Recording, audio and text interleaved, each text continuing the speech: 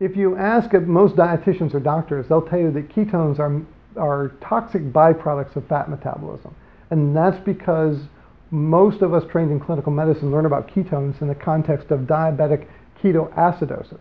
That's ketones up here, numbers of 15 or 20 in the, in the, on, a, on a test. My ketones, nutritional ketosis, are here in the 1 to 3 range. Okay? So this is ketoacidosis. This is a, a flood that sweeps away villages and bridges and highways and stuff. This is a modest, gentle rain that nourishes.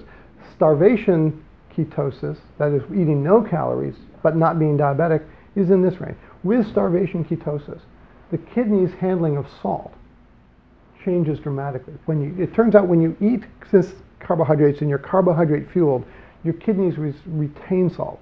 When you're keto adapted, your kidneys switch and dump salt.